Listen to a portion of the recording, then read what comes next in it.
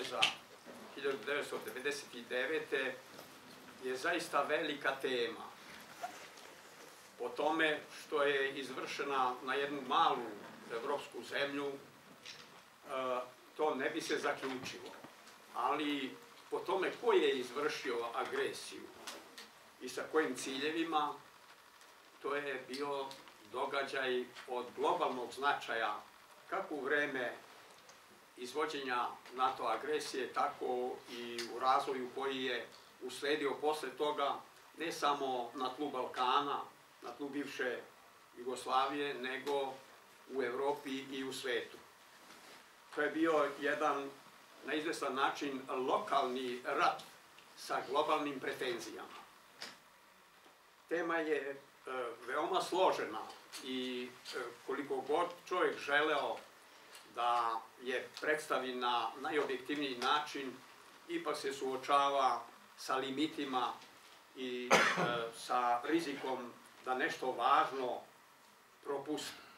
No, uvažavajući te rizike, dozvolite da kažem da gotovo uvek u ovoj prilici moramo, potrebno je reći, e, imali smo velike ljudske gubitke i kada obeležavamo ove datume, ne obeležavamo agresiju, ne obeležavamo um, te zločine, nego obeležavamo naše žrtve i sećamo se žrtava. Pošto je to tako, dozvolite da kažem da je NATO tokom agresije ubio 1008 pripadnika vojske i policije.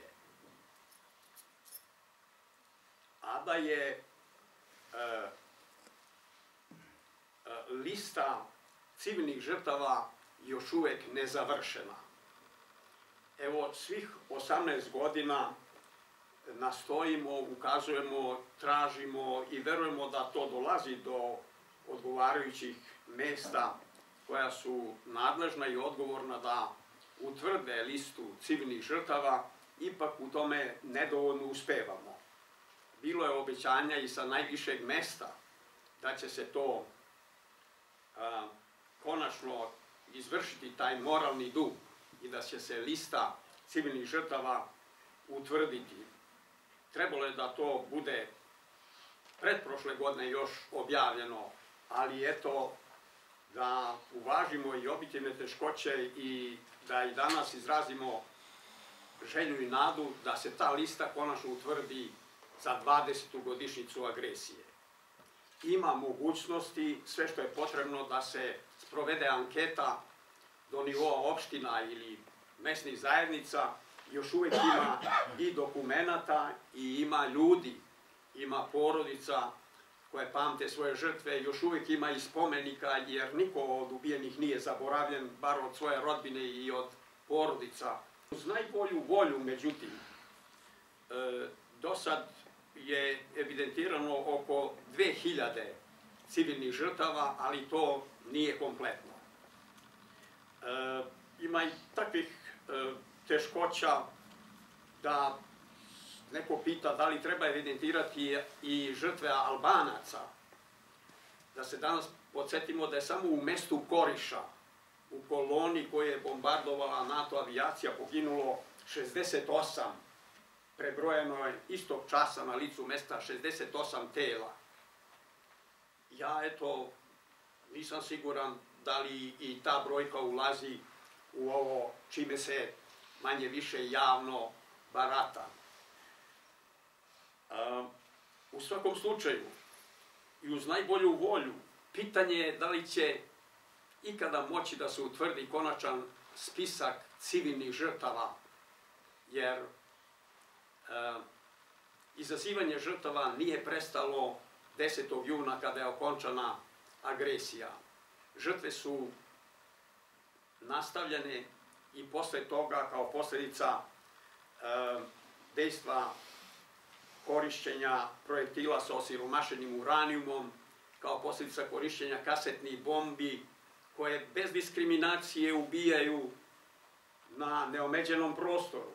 ako su kasetne bombe bacane po gradskoj pijaci u Nišu, možete da zamislite koliko tu ima kontrole, ko će nastradati i ko će nastradati i kada nakon što se agresija okonča od zaostalih delova tih kasetnih bombi. Ja ne znam da li su u žrtve uključeni demineri sa Kopaonika ili iz nekih drugih mesta koji su stradali nekoliko godina posle agresije ili njih nećemo pripisati spisku žrtava agresije NATO, ali kome ćemo ih pripisati? A kome i koliko žrtva pripisati od dejstva osiromašenog uranijuma? E, čudno je zaista da se o posledicama korišćenja osiromašenog uranijuma više govorilo u zemljama koje su imale svoje trupe na Kosovu i Metohiji, kao što su Španija, Portugalija, Italija i neke druge evropske zemlje, gde su pokretani i sudski postupci zbog oboljevanja i smrti pripadnika oružanih snaga tih zemalja posle povratka sa Kosova i Metohije u njihove zemlje. Pitanje je da li je normalno da evropski parlamenti, kao na primer portugalski i španski, znam definitivno, ali bilo je rasprave i u Evropskom parlamentu u Brislu, o posledicama korišćenja oružja sa osiromašenim uranijumom, a da u našoj zemlji, u našem parlamentu nikada o tome nije raspravljalo. Zašto se o posledicama osiromašenog uranijuma više raspravlja u zemljama članicama NATO pakta i toliko sudskih postupaka je tamo pokrenuto, a u Srbiji, odnosno u bivšoj Saveznoj Republici Jugoslaviji, sve vreme do dana današnjeg caruje svojevrsna uranijumska tišina. E, mnoge stvari se kreću na bolje u odnosu naše nacije i naše države prema e, ocenama karaktera i ciljeva NATO agresije. Ali ima zaostajanja, kao što vidite, u tom delu da se utvrdi spisak civilnih žrtava i da se pokuša utvrditi ili proceniti e, šta su posledice korišćenja oružja sa osiromašenim uranijumom. E, slušajte, sa tih strana odakle su nas pre 18 godina bombardovali, mi smo imali, a i danas tu i tamo dobijamo lekcije kakav treba da nam bude privredni sistem, politički sistem, šta demokratija znači, koje su njene vrednosti, šta znači ljudska prava za sistem demokratije i tako dalje i tako dalje. A zamislite, pokušajte da iza te površine, koju bi ja nekad nazvao i tiradom, dok učite kakvi su oni u suštini, kakvi su oni u stvari, kada su pokrenuli najmoćniju vojnu mašineriju u istoriji civilizacije protiv jedne male evropske zemlje. I kada su nametnuli nama da mi nosimo neki pečat samooptuživanja i da se samooptužujemo i samookrivljujemo zbog njihovih zločina. Oni su učinili to što su učinili E, u pripremi toga su pokazali mnogo više kakvi su. U konstrukcijama raznih laži koje su lansirali da bi pripremili atmosferu za agresiju. Setite se, na primer, takozvanih pregovora u, Rambujevu. Odluka o bombardovanju naše zemlje doneta je mnogo pre Rambujeja. I u Zapadnom savezu bilo je pomešanja jer su neke zemlje mislile da još uvek nisu iscrpljena sva diplomatska sredstva mirnog rešavanja problema na Kosovu i Metohiji. Govore da se Francuska tu e, dosta angažovala, da se pokuša diplomatskim putem i tako dalje. Sjedinjene američke države koje su i početak i kraj svega bile, mogle su lako da izvrše agresiju bez Evropljana ili da ih prinude. Ali nije bilo sve jedno javnosti američkoj ako Amerika sama krene u napad. I onda, kada je Evropa pokrenula inicijativu da se još jednom pokuša sa diplomatskim rešenjem, Sjedinje američke države su taktički prihvatile taj izazov e, svojih saveznika, pokazale dobru volju, ali ne zato da bi izmenile već donetu odluku o napadu, nego samo da bi javnosti još jednom demonstrirali kako sve pokušavaju i kako ništa neće dati rezultate osim sile bombi, Tomahawk raketa i drugih sredstava. Pregovori u Rambujevu su iz arsenala alibi diplomatije. Oni se zovu pregovori, ali nikad ih nije bilo. Tamo jesu bile dve delegacije pod jednim istim krovom, ali Christopher Hill kao šef trojke nije dozvoljavao ni jednog časa da se dve delegacije sastanu i da razgovaraju. Jer e, onda bi se puno toga e, otkrilo na površinu što Amerikancima ne odgovara. I onda je bila takozvana na delu šatl diplomatija iz jedne sobe u drugu sobu ovaj, na rasojanjima od po desetak ili petnaestak metara, bez ikakve potrebe. Kad su članovi naše delegacije i Ratko Marković, još uvek živ šef naše delegacije, e, zahtevali da se delegacije sastanu i da neposredno razgovaraju, Hilj je uvek odgovarao, Albanci to ne žele. A niko nije imao šanse da to proveri ili ne, moralo da se primi zdravo za gotovo što američki predstavnik kaže i Amerikanca niko nema pravo da proverava.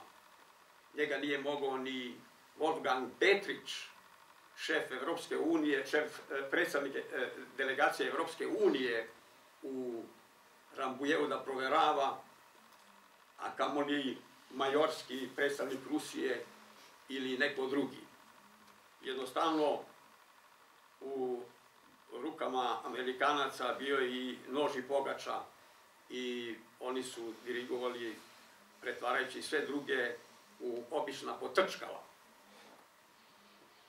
I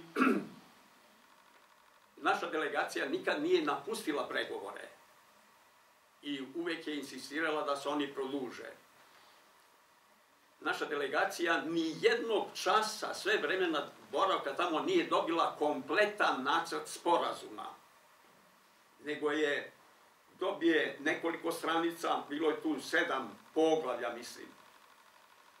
Dobije jedno poglavlje, pa posle nedelju dana drugo poglavlje, pa onda se menja prvo, pa onda treće, pa četvrto, pa peto i tako dalje. E, skrivajući da kažem tako, iako nije odgovarajuće, ko guja noge, poglavlje 2, 5 i 7, koje se tiče vojnih aspekata i koji su dati na svega nekoliko sati pre proglašavanja kraja pregovora. Dakle, pregovora nikakvih nije bilo.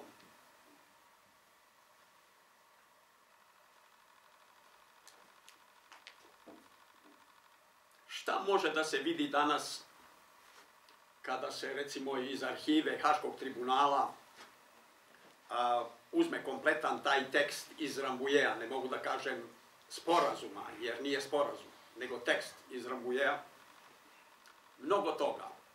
Pre svega da je zahtevana bezuslovna a, kapitulacija i saglasnost za okupaciju Jugoslavije sa 40 i nešto hiljada vojnika, ne Kosova i Metohije, nego okupacija cele tadašnje zemlje, bez a, ikakvog izuzetka. Znači, ne bi bilo okupirano samo ono što ne bi bilo od interesa za NATO, ali je trebalo potpisati da se raspoređivanje NATO trupa i NATO personala zahteva na čitavoj teritoriji Savezne Republike Jugoslavije. Od Subotice dole do Preševa i od recimo Đerdapa do Bara.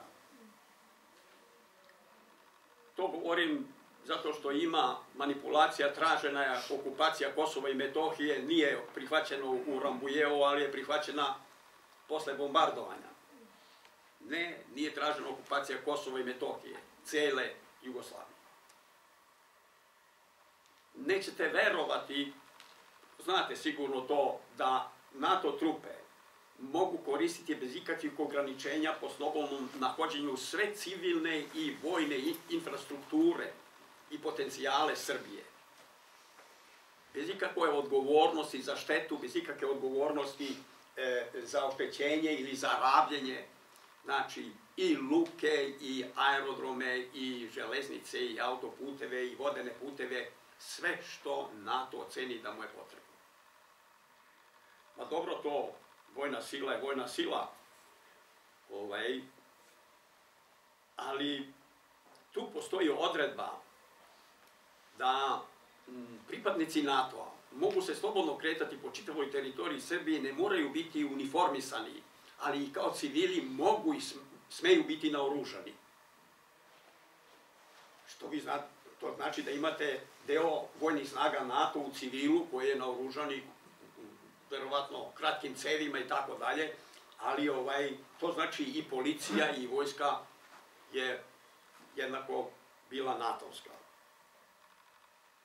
A ono što kažem da nećete verovati, pripadnik NATO, da li civil, da li vojnik u civilstvu, da li vojnik, oficir, ima pravo da zatvori svakog građanina Savezne Republike Jugoslavije bez pisane odluke, bez ičije saglasnosti, bez ikakvog postupka.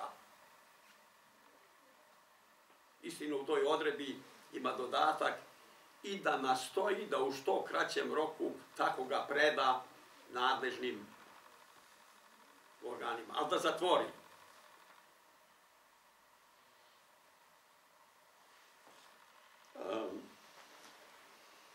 Ima ovde i, verujem, ljudi iz medija ili ne moraju, ni biti, ne moraju ni biti medijski profesionalci, pa razumeti, postoji odredba u tom tekstu da NATO može po slobodnom nahođenju u svako doba staviti pod svoju isključivu kontrolu čitav elektromagnetni spektar zemlje.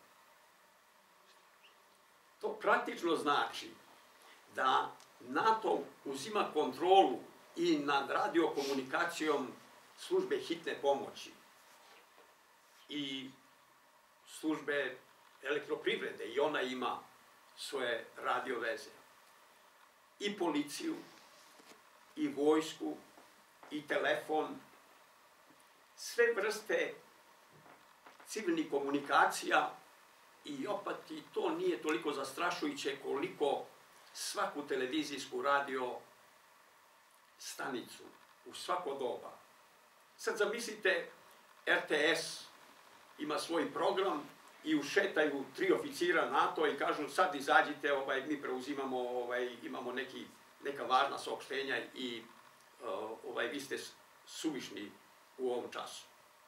To znači kontrola celokupnog elektromagnetnog spektra. Elektromagnetni spektar u smislu nekih principa i prava je deo nacionalnog suvereniteta. Da na drugi način kažem da je taj tekst iz Rambujeja predvideo da NATO trupe u Jugoslaviji ili u današnjoj Srbiji, NATO vojnici, u svakom času imaju neuporedivo veća prava nego vojnici Srbije u svojoj sobstvenoj državi. Jer vojnici Srbije ne mogu nikoga zatvoriti, ne mogu e, e, koristiti elektromagnetni talas nacije, ne mogu e, biti zaštićeni imunitetom, podležu sudovima, e, organima uprave, sudijama za prekršaj i tako dalje i tako dalje.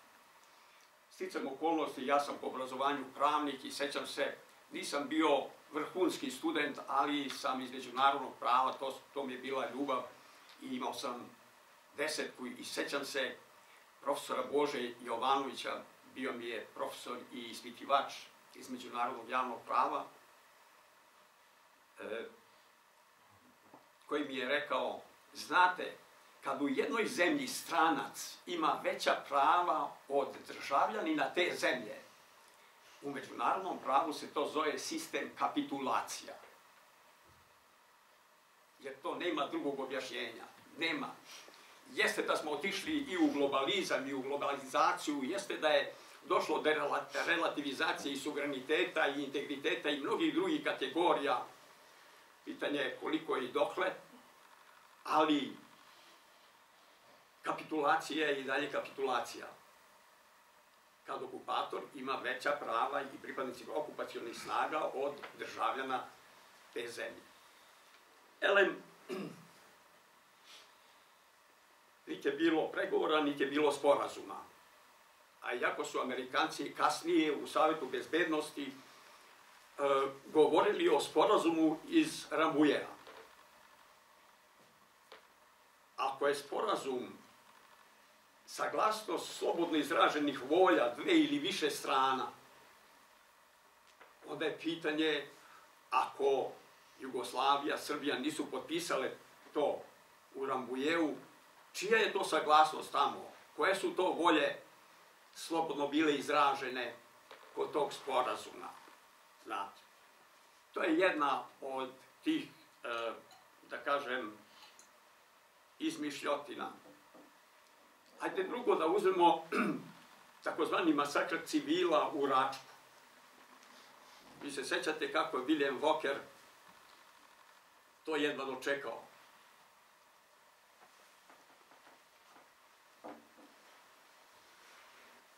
A to je bila legitimna akcija naših bezbednostnih snaga protiv terorista koji su pre toga izvršili neke teroriste terorističke zločine protiv pripadnika naše vojske i policije i e, najavljena ta terori, antiteroristička akcija je prijavljena pisanim putem misiji OEPS-a koja se zove Kosovo Verification Mission da znaju u kom satu, na kom mestu će biti sprovedena ta antiteroristička akcija. I misija OEPS-a je bila tamo. Ali sve jedno, insceniranje masakr. Otišla je reč iz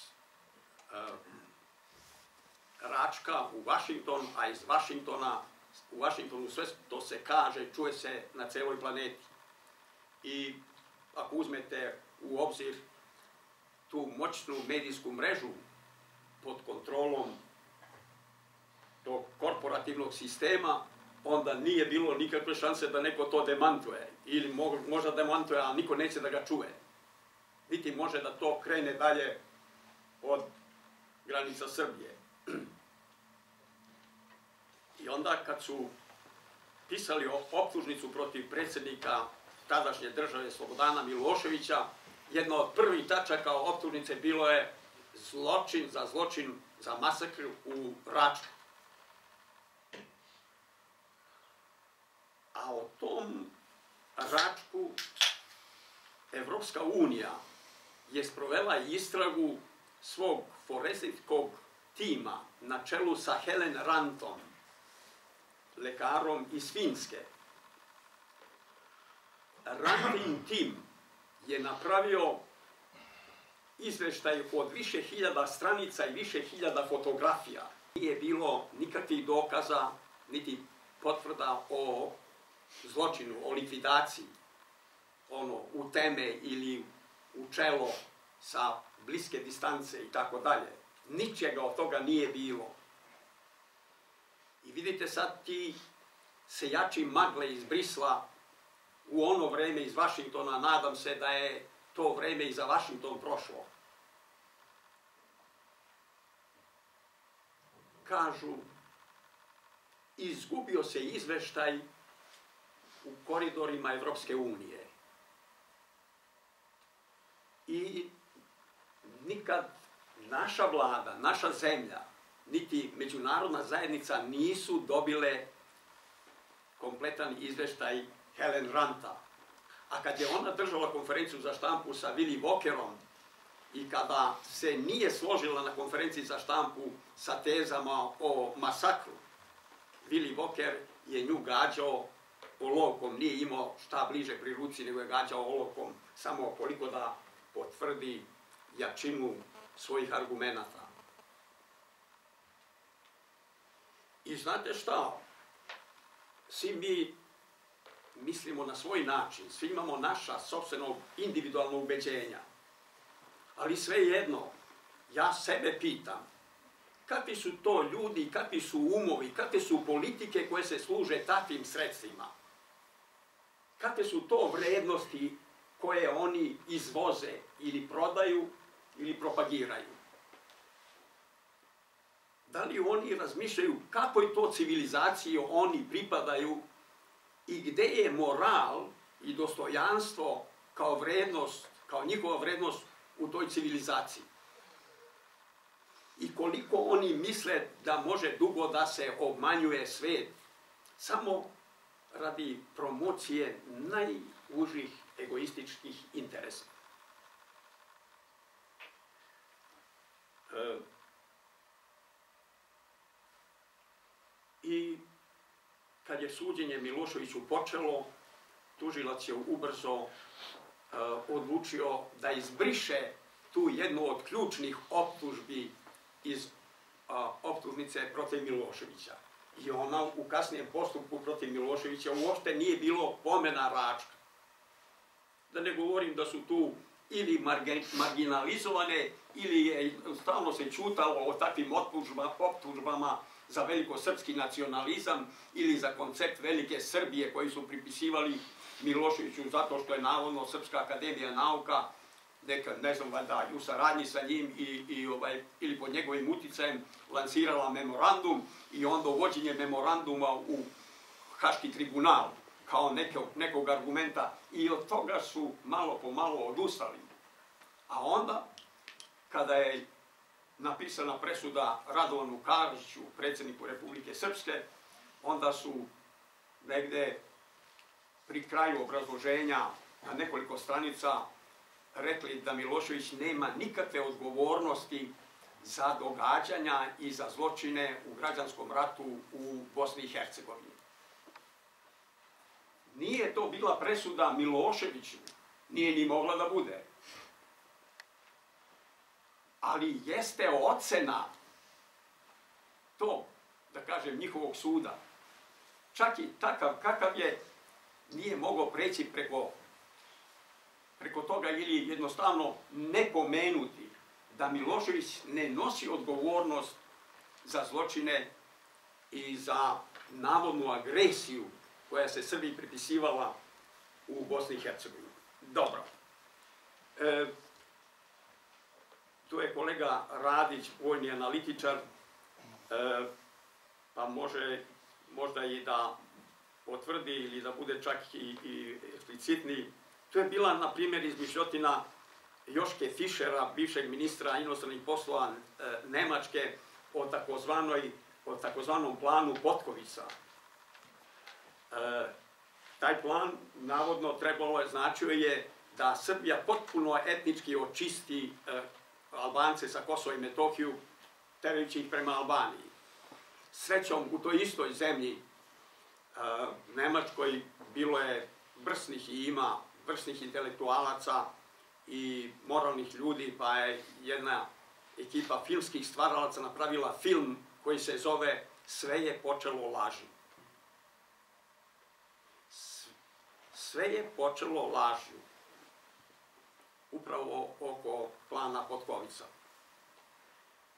E, ili uzmite tezu koja je lansirana sa najviši nivo iz Sjedinjenih američkih država. Uguglujte molim vas danas, naći ćete sto citata da Milošević nosi odgovornost za sto hiljada već likvidiranih Albanaca na Kosovo i Metohiji. Sto hiljada. I mnoge druge i mnoge druge. I onda pitanje je u čemu je ta vodeća uloga, kakva je to vodeća uloga, kakva je to ekskluzivnost e, Clintonove administracije, dozvolite mi da budem specifičan, jer meni je drago da je došlo do promjena tamo. Možda neće biti u svemu kako nama odgovara, ali mislim da je prošlo vreme da može da nam bude tako loše ili gore od onoga što je bilo za vreme Clintona. Ne može da bude gore. I ne zato što, eto, mi smo mali, ali smo kočoperni, pa stalno pričamo kao naivci, ne vidimo realnost i tako dalje, ne može. I mi smo sada postali jedan delić, jedna mrvica dobrih, pozitivnih, globalnih promjena. I mi smo na neki način sada na krilima tih globalnih promjena.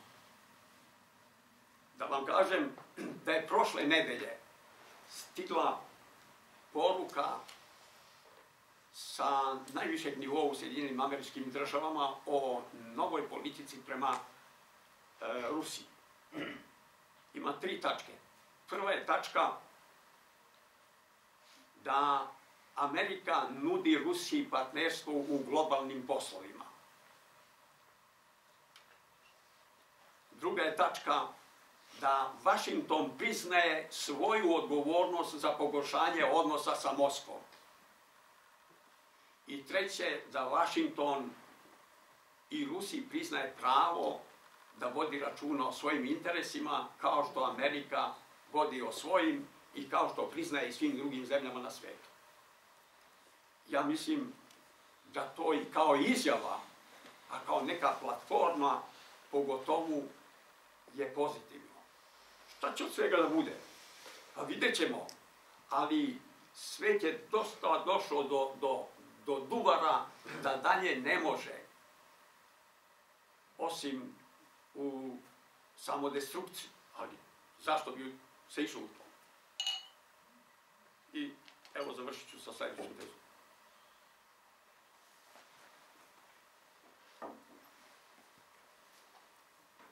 Pitaju me često, a je mogla agresija da se izbegne? Svi su pametni posle bitke. To pitanje najčešće sam primao kao pokušaj samooptuživanja. Sam, da sami sebi pripišemo odgovornost onako kako želi NATO. Da smo mogli da izbegnemo agresiju. A da smo mogli da izbegnemo prvi svetski rat? Da smo mogli da izbegnemo drugi svetski rat? A šta znači teza koju smo toliko puta slušali sa dosta visokih mesta, Srbija neće više ratovati? Pa čekajte, pa nismo deca, nismo pali z grana, mi smo najlepši deo evropske civilizacije. Ko nas to zafrkava da oprostite? ko nam govori, ko zahteva da kažemo da nećemo da ratujemo? Da li oni misle da mi ne razumemo da to znači da se nećemo braniti? Ne može se reći Srbija neće ratovati, Srbija će se braniti, Srbija neće napadati. To je jedino istina.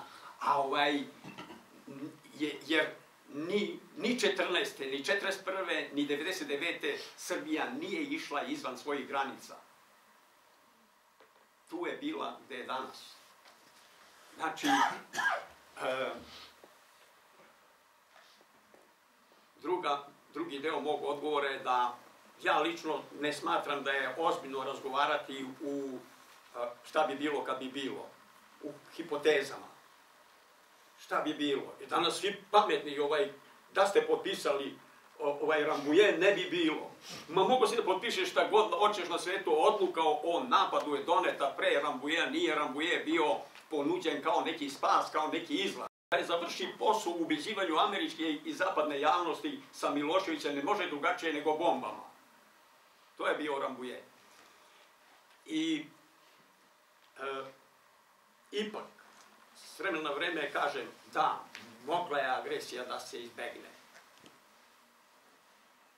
Da je Clinton odustao od plana da nas napadne. Ako vas napadne, šta ćete? A sami su rekli da su sve učinili da naprave tekst ili podignu lestvicu toliko visoko da Milošević u Rambujev ne može da to preskoči. Sami su rekli. I sada mi i pored toga treba jedni druge da ubeđujemo i da kažemo moglo je to, ovaj, nismo mudri i tako dalje i tako dalje, pa čekajte, gde nam je dostojanstvo? Ničim, kao Srbin, ničim nikada neću umanjiti ocenu o odgovornosti NATO za agresiju 99. godine. Niti iko treba da umanjuje to. To je zločin protiv mira i čovečnosti i to je bila, to, je, to ostaje istorijska ljaga na licu zapadne civilizacije. Znate, najmoćnija vojna mašinerija u, u istoriji civilizacije napadne jednu malu zemlju gde uopšte nema govora šta je ishod. Ali svejedno nama poturaju priču da ste bili drugačiji, mogli ste i tako dalje i tako dalje. Nije bilo e, nije bilo drugog. Kad nas neko napadne, ja mislim i u buduće treba da se branimo. I treba samo da, bude, da budemo spremni. Možda, ne možda, naša odgovornost je e, u tome da se nismo na vreme pripremali e, da obezbedimo dovoljno naoružanja i dovoljno vojne tehnike i dovoljno svega što je potrebno. Tu smo činili mnogo, ako to nekoga interesuje, znam po nešto ovaj, šta smo tražili i kakvi su odgovori bili, ali to je na neki način e, preoziđena tema. I sledeće, tužni smo, dakle, zbog žrtava agresije. Tužni smo i zbog štete koja je učinjena tokom agresije. Već u štetu agresorske zemlje su u materijalnom smislu načinile Srbiji posle okončanja oružane agresije nego tokom ružane agresije. Materijalna šteta, eto, danas smo čuli od premijera, se procenjuje se od 30 do 100 milijardi. Malo je previši, veliki dijapazon za mene. Moja vlada u kojoj, smo, kojoj sam bio član je procenila 99. da je materijalna šteta 100 milijardi dolara. Labusova ili koja je došla posle toga je procenila 30. Ali materijalna, ekonomska šteta po Srbiju daleko je veća posle 10. juna 1999. godine nego ono što je srušeno. Mislim, shvatam ja uh, neminovnost promena našoj zemlji i mentalitetu, našoj naciji pa i našem sistemu i kad je bio ono najsocijalistički nije bila strana tržišna ekonomija. Mi nikada nismo ukinuli privatni sektor u poljoprivredi ili u uslužnim i nekim drugim zanatskim delatnostima i tako dalje. Mi smo u smislu e, pripremljenosti, civilizacijske pripremljenosti za tržištu i ekonomiju ispred Rumunije, Bugarske, ispred Mađarske, ispred Rusije i tako dalje, jedino što nismo imali šanse da to ispoljimo, tu našu, to naše preduzimaštvo. A onda su nam umeđu vremenu manje više sve pokupili. Privatizacija je bila druga forma za pljačku.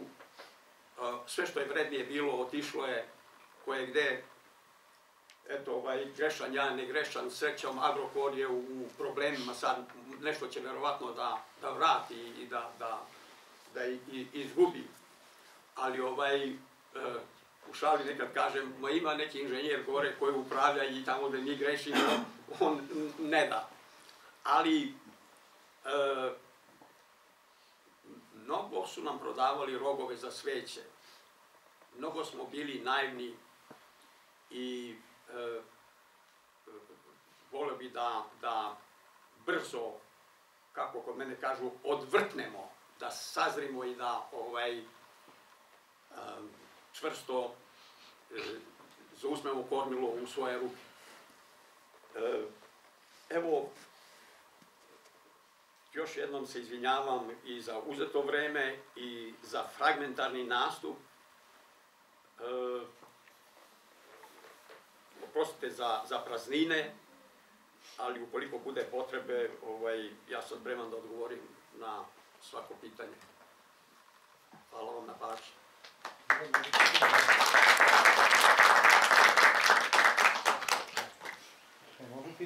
Hvala gospodinu Jovanoviću. Imamo malo vremena pre nego uh, uključimo gospodina Radića da, da se priključi izlaganju za neko pitanje, ako je neko raspoložen. Ja Kolega Kovačević, izvolite. Gospodine Ivaniću, hvala puno što ste došli ovde. Svi vas pamtimo kao velikog čoveka i dan danas cenimo vas. Mene me zanima jedna stvar. Ide velika fama oko tih diviziona S-300 koje smo trebali da dobijemo pre svih ovih zbivanja. Šta se tu dogodilo? Da smo ih mi bili naručili, dobili, platili ili nismo? Gde su oni otišli? Šta se s tim dogodilo? E, sve što je istina, to je da smo pokušavali da nabavimo e, modernu vojnu opremu i naoružanje od Rusije i Belorusije. Na tome je rađeno e, veoma uporno, iako možda sa izvesnim zakašnjenjem. Problem je bio u osnovi proamerička orijentacija ruskog rukovodstva tog vremena. Tu je bio, osnovna prepreka je bila tu. Ruski generali, admirali, ruske strukture bile su potpuno otvorene, spremne i, da kažem tako, raspoložene da nam stave na raspoloženje, na raspolaganje sve što imaju. Međutim, 98. godine bio sam sa Miloševićem na razgovorima kod Jelcina. Bili smo u jednoj vili na Lenjinskim gorama i tako onaj tekući domaćin je bio Kozirje, ministar inostranih poslova. E, Milošević je za ručkom pre odlaska kod, na razgovore kod Jelcina pokrenuo kod Kozireva pitanje oružja. Moram da kažem da sam bio iznenađen zašto sa Kozirevim pokreće takvu temu kad će ovaj pre Amerikancima nego Jelcinu da kaže. Međutim, valjda je Milošević imao nameru da tako najavi temu za razgovor Jelcinu. Ispostavit će se, međutim, da kod Jelcina uopšte o tome nije razgovarao, jer je razgovorima diktirao, u razgovorima u Jekaterinskoj sali Kremlja diktirao Kozirev, a ne, ne Jelcin. A razgovor za ručkom je bio takav da je Kozirev rekao pa da, ovaj, tu u principu smo mi otvoreni, nego mi imamo velike ekonomske teškoće, imamo velike finansijske dugove, mi ne možemo to da vam poklonimo, a ne može, vi nemate neki kreditni rating i tako dalje i tako dalje. Milošević na to kaže, dobro, imamo milijardu i po dolara potraživanja prema vama po osnovu klirinčkog duga. Milijarda i po dolara. Uzmite milijardu dolara i dajte nam šta nam treba, šta, šta možete, mi ćemo vam dati listu da bi u, u tu milijardu e, ugradili određenu strukturu naših potreba. Na to je Kozirjev rekao, a pa ne može to ovaj klirinški dug nije prema Srbiji nego prema Jugoslaviji, a taj dug je sada predmet sukcesije. Mi ne možemo ovaj znati koliki je koliko potraživanje pripada Srbiji, pa sada pretpostavljati koliko je vaš i tako. Na to Milošević kaže, dobro vi znate da je 80% ukupnog izvora Jugoslavije bilo i Srbije. To vam je poznato. Da. Ne, neće onda prihvatati. Samo se dogovorite prvo o sukcesiji i ono što pretekne, mi ćemo da vam to damo. To je bilo, što bi rekli u Šumadijat kalendas grekas. Ovaj, ne, ne umri magarče do zelene trave. I, znači, to nije išlo tako. Onda je Milošević rekao, gospodine Kozirje, mi imamo vama da ponudimo trenutno milion i po tona žita, pšenice. Možda vam ponudimo 2 miliona tona kukuruza. Možda vam ponudimo suhomesnatih proizvoda, mesa, obuće, odeće, nameštaje i sve tako. Mi možemo vrlo lako da vama napravimo e, kompenzaciju sa vama i da obezbedimo vama potrebne robe od e, recimo milijardu dolara. A vi nam za to dajte. A pa kaže, ovaj, pa kaže, kako, a kako vi avione da prebacite sad? Migove da vam damo, migove, kako se vi da prebacite? I onda Milošević se čudio, a onaj nastavlja.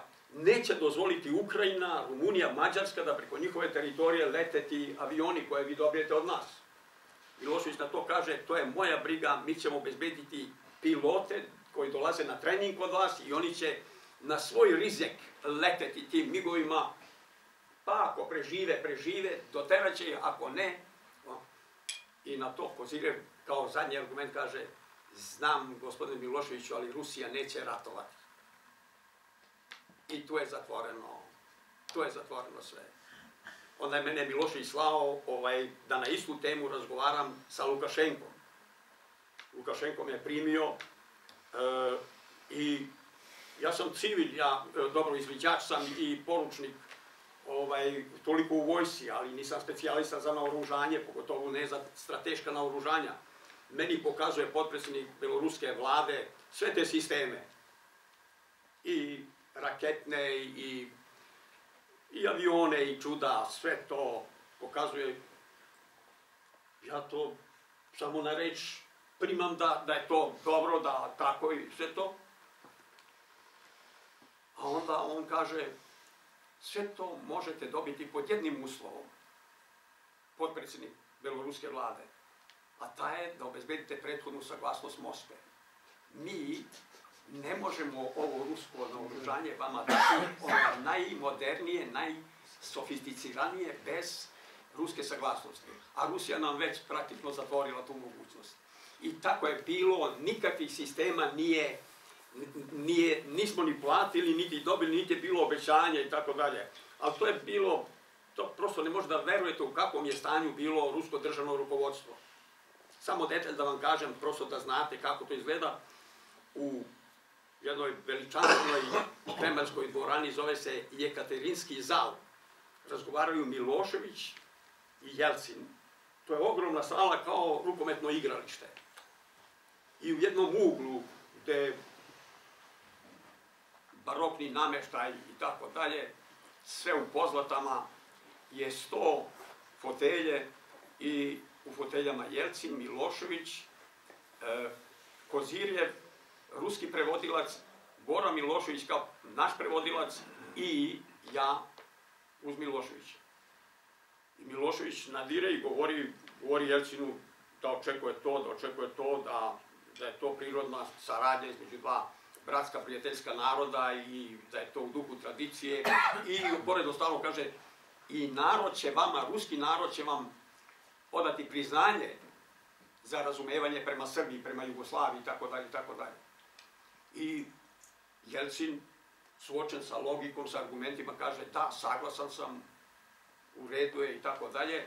Na to se naginje njemu pa na uho šapuće kozire Predsedniče, to je neprihvatljivo. To nije prihvatljivo. Naši zapadni partneri neće to razumeti. A pošto Jelcin ne čuje dobro, ovaj mora glasnije da šapuće, a to je sve na malom prostoru i, sve, sve čujemo. Ne da ja čujem, čuje i Milošević, čuje i Bora Milošević, samo Jelci ne čuje. I tako, tako od jedne prilike do druge prilike, nije to bilo jednom u toku razgovora. U toj prilici uopšte o oružju nije bilo reči, jer to je bilo potpisano, gotovo je. O drugim stvarima, tako da Jelcinu u jednom času postaje neprijatno, iako je mali sastav, što bi rekli kamerni sastav.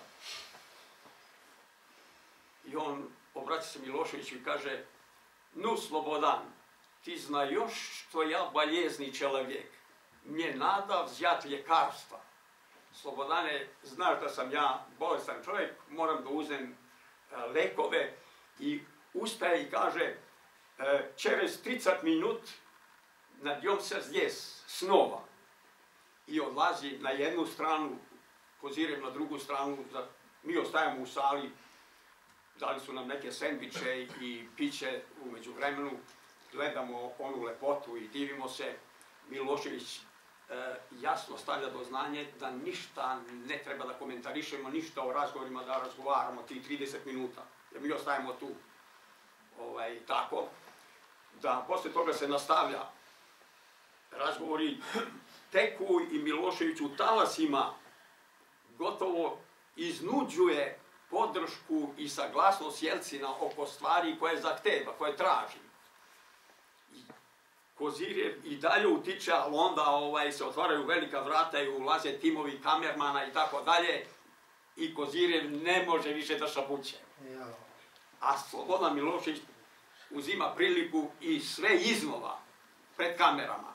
U kamere i iznova dobije u kamere zabeleženu saglasnost Jercina ali razume se, ovaj, bio je, to su bili razgovor, uspešni razgovori bez rezultata. Sve se saglasio, ali ništa od toga nije bilo. To je naša, to je bilo tako što se tiče oružja. Hvala, izvinite. Znači, fama bilo. da. Hvala vama.